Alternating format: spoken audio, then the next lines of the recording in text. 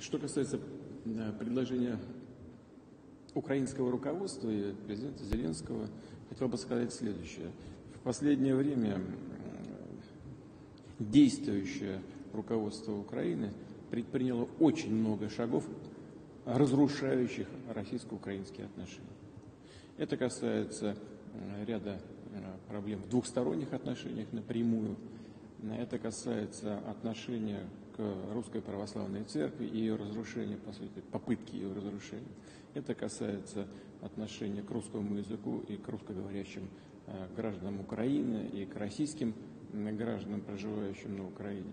Очень много было шагов, направленных на разрушение наших отношений, о чем мы, безусловно, можем только сожалеть. Но если президент э, Зеленский хочет э, начать восстановление этих отношений, мы будем это только приветствовать.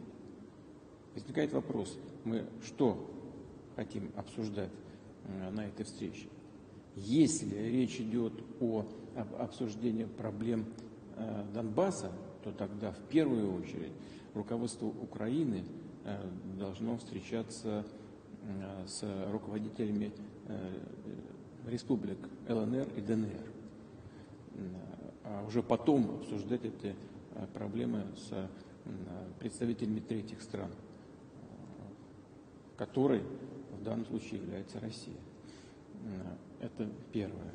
А второе, если речь идет о э, развитии двухсторонних отношений, то, пожалуйста, мы примем президента Украины в Москве в любое удобное для него время.